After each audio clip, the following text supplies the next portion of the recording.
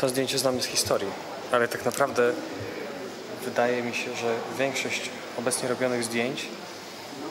pamięć o nich, historia nie przetrwałaby nawet